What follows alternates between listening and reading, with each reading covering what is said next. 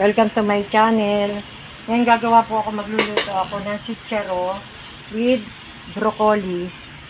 Ayan po, broco broccoli tsaka itong sitsaro. Ayan, pagsasamahin ko na yan kasi yan na lang po yung mga gulay eh. Ayan, may giniling, hipon, at saka itong pinaka gitna ng tangkay ng broccoli kinuha ko. Yan, bawang sibuyas. Tsaka itong oyster sauce, ginisa mix. Tsaka itong, guys, lalagyan ko ng sotangon. Ayan. Guys, mag start na ako magluto.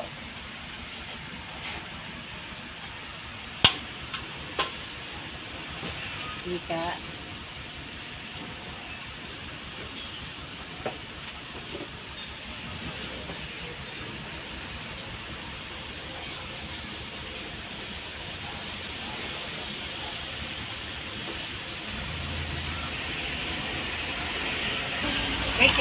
Ito na yung matika. Sige ko na yung sibuyas.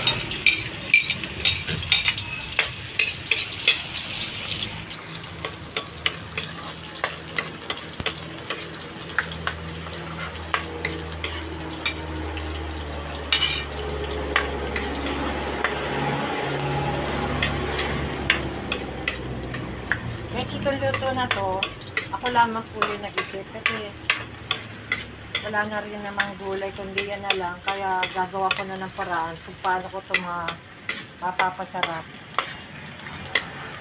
Saka ito bawang.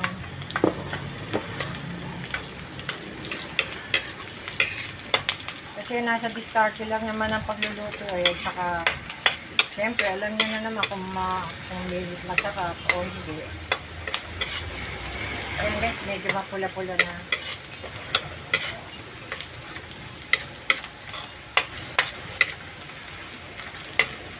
Ituin lang natin ang kaunti pa.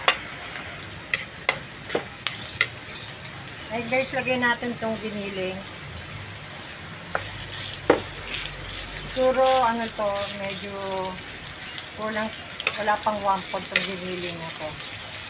Ko ako ng ano, panghawak.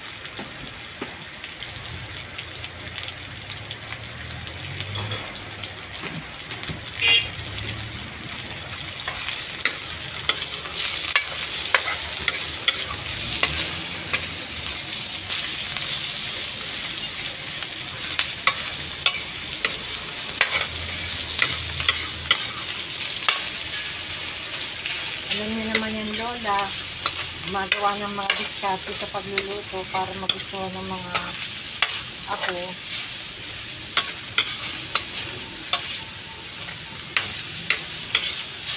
Para guys, magkalasa siya, lagyan natin konti na ano, patis may konti pa rito.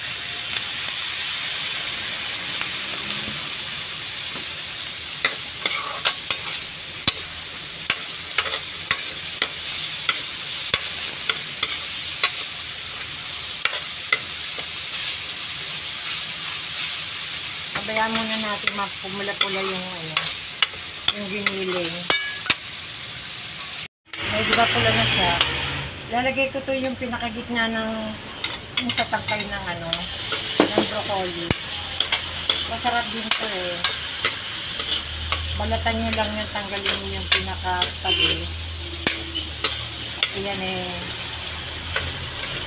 Masustansya din yan. Hindi ko yan tinatapon, sayang yan. Malambot naman yan. Ngayon guys, ang gagawin ko, lalagyan ko muna siya ng tubig. Palalambutin ko muna siya.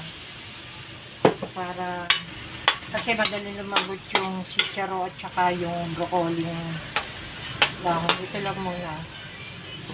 Mamaya pakikita ko na lang siya pag malambot na. Ito nga pala siya. Malambot na yung ano, pinakatangkay ng broccoli. Ayan na. Ayan guys, lalagyan na natin tong hipon. Ayan. Kasi yung hipon nakakapagpalasa din yan eh. Para nagigisa ka lang naman ng ano. Ayan guys, lagyan natin ng liquid seasoning.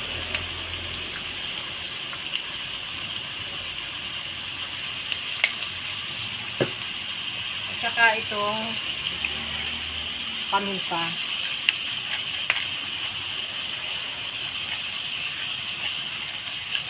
Ayan guys. Napakabango niya. Tsaka lagyan na rin natin itong oyster sauce.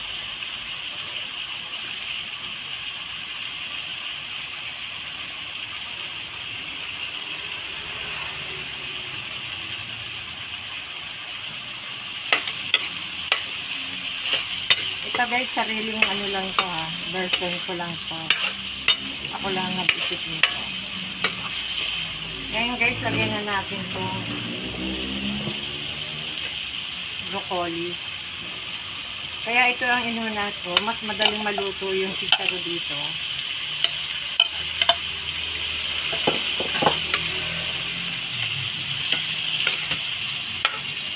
Ito yung favorite ko na gulay. Broccoli.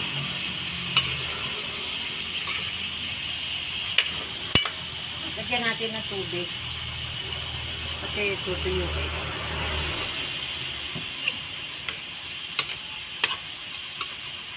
Ayan guys siya, ano.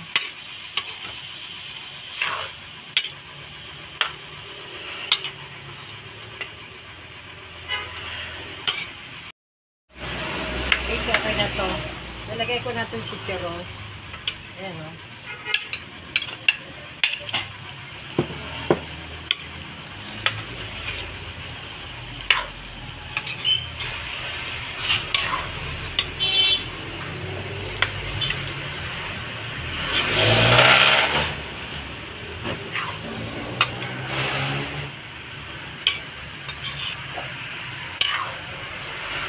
Dadagdagan ko siya ng kaunti pang tubig kasi lalagay ko tong itong sotanghon. Ayan.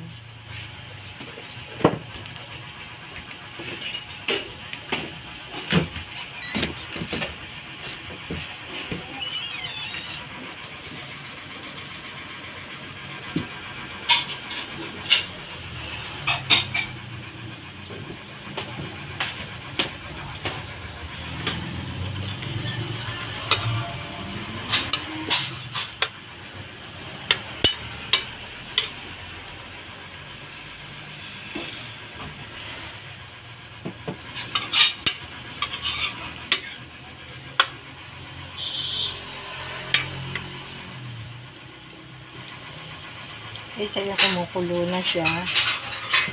Lalagay ko na itong sotanghon.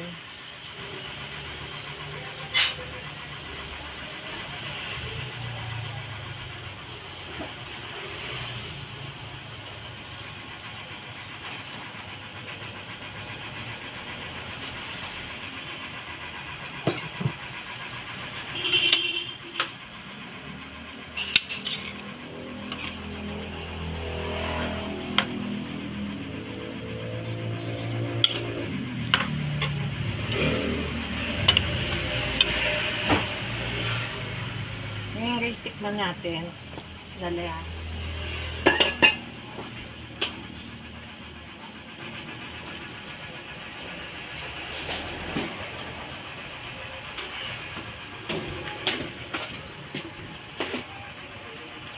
Pag kulang siya sa alat, dadagdagan ko siya ng asin.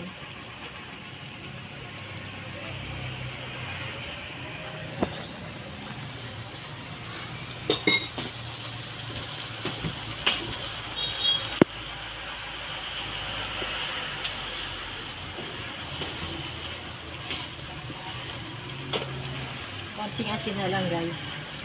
Okay na siya. Ang sarap, ang sarap na guys. Sobra.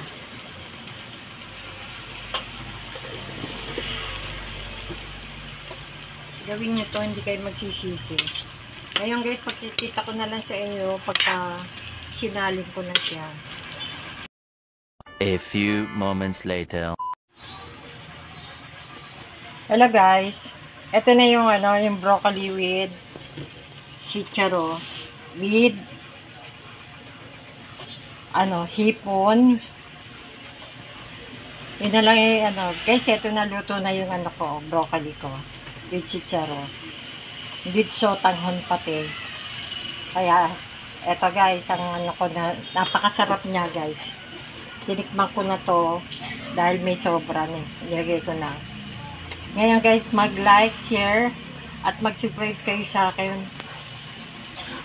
Mag-like, share, at mag-subscribe kayo sa akin para lagi po kayong updated sa lahat ng video ko. At pin- pindutin nyo po yung bell para lagi po tayong ma-notify ma- ma- notify kayo sa lahat ng mga video ko. Thank you for watching.